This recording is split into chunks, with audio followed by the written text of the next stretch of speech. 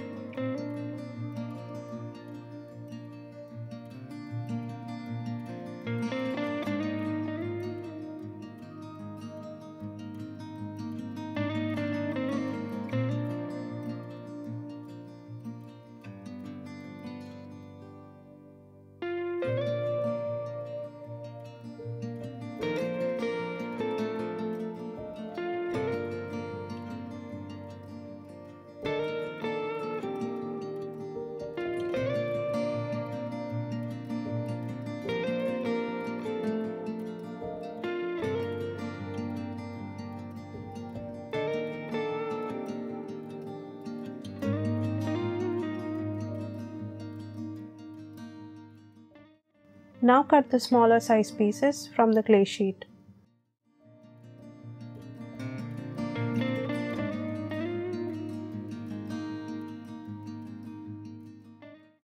Place the smaller piece over the larger piece.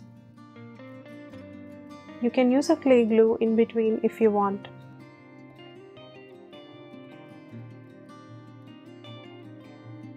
Then texture the smaller piece the same way as before.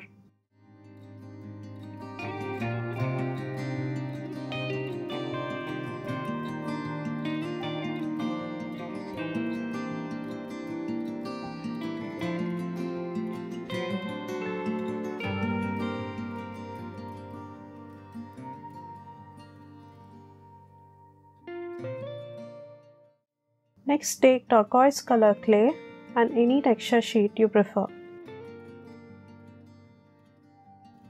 I sprayed some water on the clay before placing the texture sheet.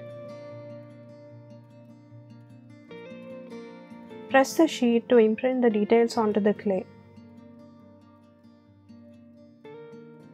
Do this carefully when using water. Sometimes the texture sheet gets displaced, then the pattern will not be proper.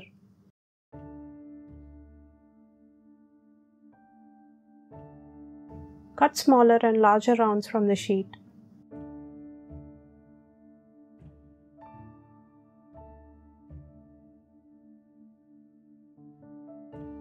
Remove the excess water.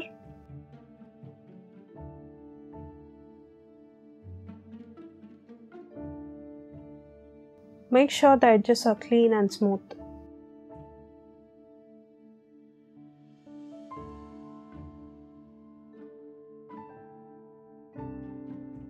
Place the rounds on the clay base.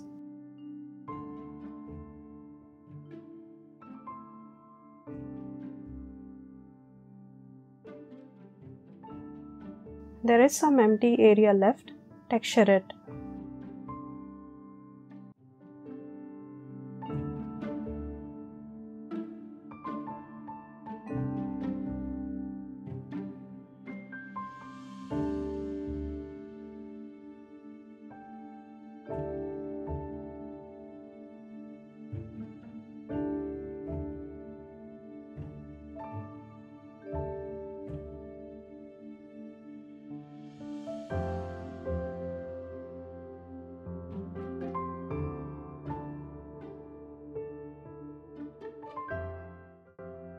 I'm using an antique copper pigment powder.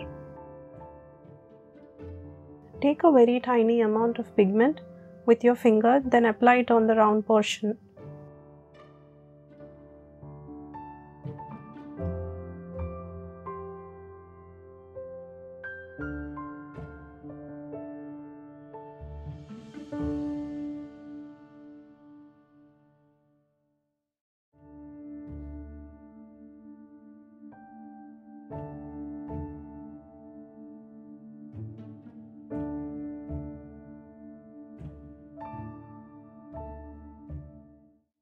Place a thin black rope of clay around the round shape, forming a nice border.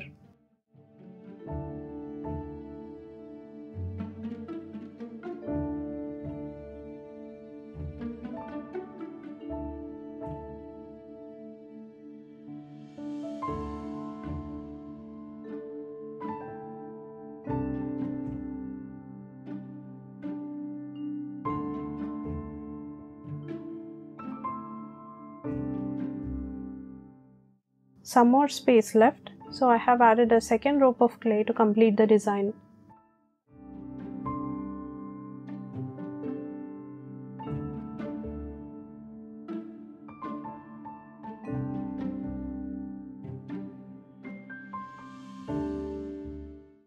We can add more details like flowers, leaves or any structural element to make the design more complex and detailed.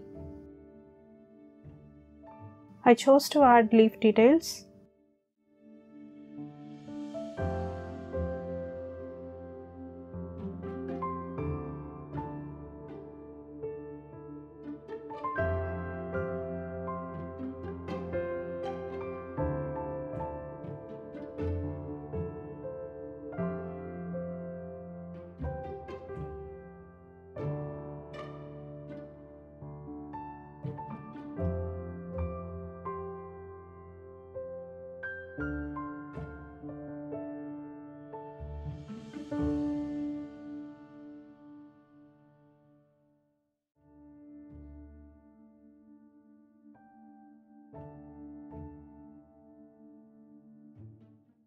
Adding the pigment to the texture makes the design pop nicely.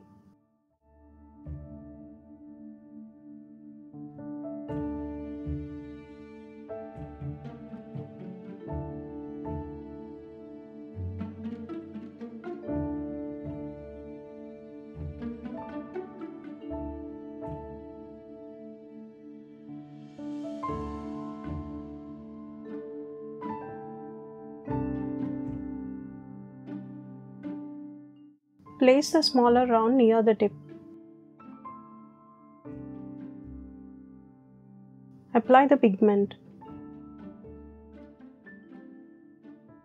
To give it some finish, I added a thin black rope of clay around it. I twisted the extra ropes together like a wire wrap.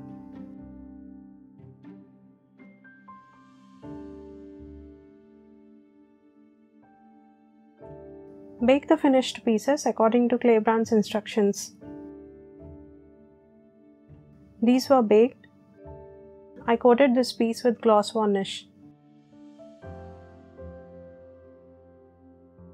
This is without sealing. The gloss one was too shiny. I prefer the one without gloss for the metallic look. But I have to protect the surface. I guess using a satin or semi-gloss kind of varnish would be nice. But I don't have those sealants.